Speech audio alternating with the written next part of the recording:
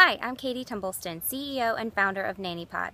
After babysitting in the community for over a decade, I recognized the need for a system that would safely and seamlessly connect families to experienced nannies and sitters.